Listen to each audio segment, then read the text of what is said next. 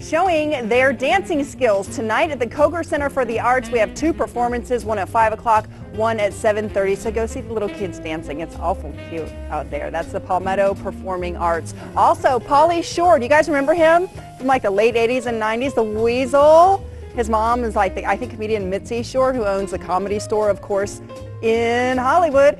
Comedy Zone, that's where he will be performing tomorrow night at 7.30 p.m. So it's kind of nice to have like a big ticket name here in the comedy world. So Pauly Shore will be tomorrow night.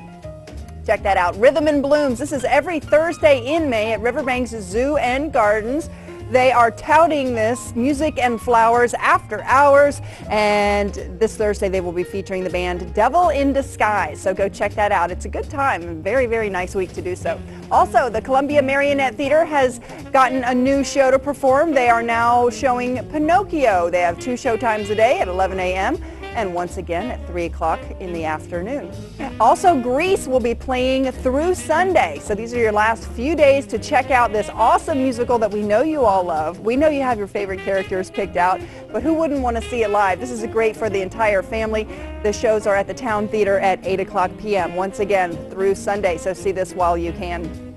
Finally, Coriolanus is a Shakespearean work and it's going to be showing through Thursday at the Nickelodeon Theater and this one stars Gerard Butler and of course Ralph Fiennes. Very, very uh, entertaining tragedy by one William Shakespeare. Well, thank you so much for watching. We have more arts coming up for you next hour and a lot more show coming up for you in just a few minutes.